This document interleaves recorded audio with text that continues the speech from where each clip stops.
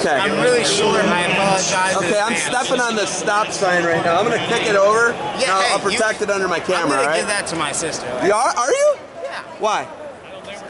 Do you have more of them? No, it's well. I think I do, but like it's not like it's not like that. It's the experience that doesn't. It's the oh, Okay, experience. Okay, that doesn't matter. Okay, I got you. Okay, first things first. Congratulations. Thank you. Two straight, right?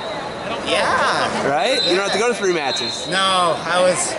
Yeah, my body was just like, don't do it. And I was like, okay. I listened to my body. I tried to.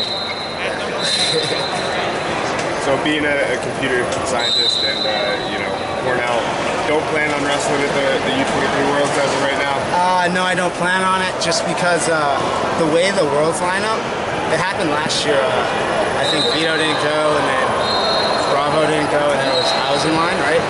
So it trickled all the way down, and then ended up with, uh, gosh, why am I blanking on his name? NC Sean State. Fausz. Sean Fausz, yes. It's great.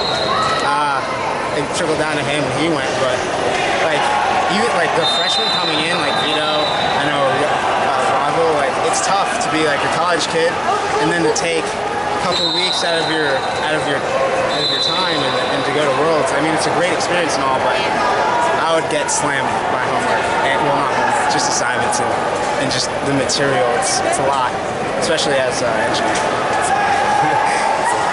So school's more important to you. Obviously, you went to Cornell. Yes, um, but you know, uh, people will go to Cornell for different reasons.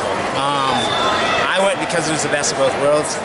Great academics, great wrestling, and uh, that's why I was at Blair because I had great academics, great wrestling, and um, just that combo really, really suits me. It pushes me to my limits, and I, uh, I really try to strive for that because I like. It's good to break now that I have a safety net of college. It's good to break myself down so I can build myself up even stronger, you know, through wrestling, through engineering. So that's what I try to do. Claus went and won a silver last year. Yes. After you passed it up, was there any regret when you? Um, any second thoughts when he was having success over there? Not, not really. Uh, shouts out to Fausz. He's great. He's a great competitor, and uh, he went out there and he just moshed people up. Um, but no regrets. I, uh, I try not to have any regrets because say I went, you know, I had the same result as Fausz, um, and then I come back to school, I get hammered there. You know that that won't feel good. That won't feel good. so uh, I, yeah, no regrets at all. Congrats to Fausz. All right. You got anything? Hey, congratulations. Thank you.